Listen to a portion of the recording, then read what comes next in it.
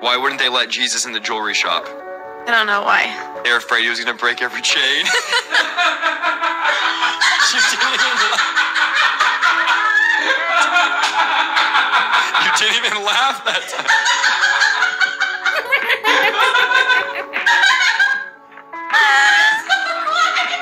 That was that funny? No. What is that? No, no, it wasn't. Why wouldn't they let Jesus in the jewelry shop? I don't know why. They were afraid he was gonna break every chain. you didn't even laugh. You didn't even laugh that time.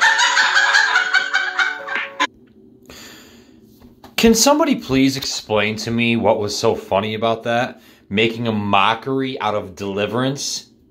Making a mockery out of what the Lord can do in someone's life? The power of deliverance? Setting somebody free? This is why we're covering the devils of deliverance because they actually make a mockery out of deliverance. Yes, Isaiah Saldivar is sitting here mocking the delivering power of Jesus Christ. Why won't they let Jesus in the jewelry shop? Because they're afraid he would break every chain.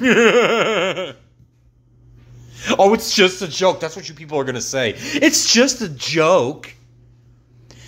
Is getting deliverance a joke? Is being set free from the sin that keeps you in bondage a joke? No, it is not. I can speak for myself. I have been set free from the grips and power of sin. All glory to Jesus Christ. Nothing I could do in and of myself, but the Lord changing my heart and taking those desires from me.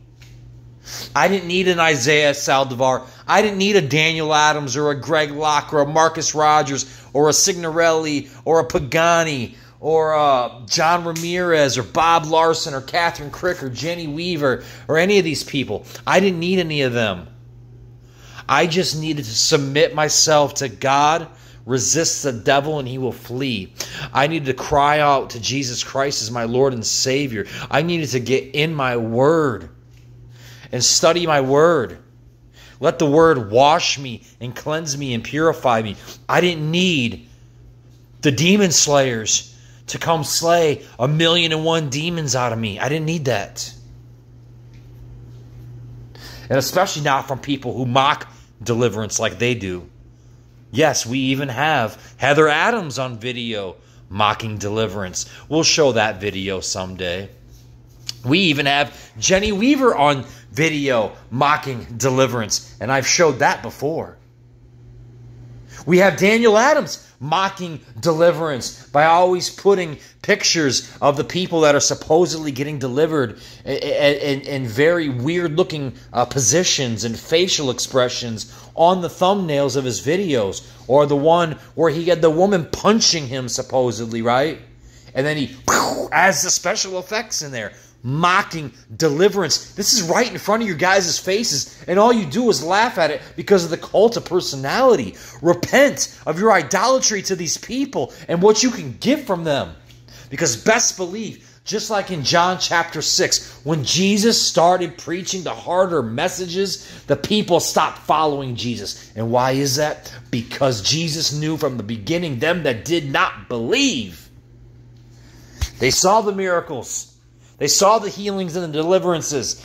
They saw Jesus feeding 4,000, 5,000. They saw all of that. But when Jesus started preaching the harder messages, none of it mattered anymore.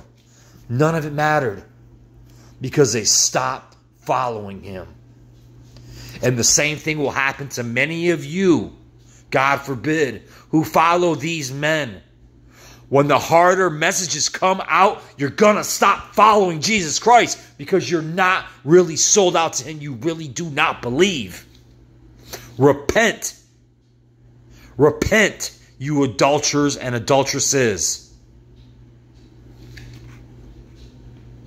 God bless.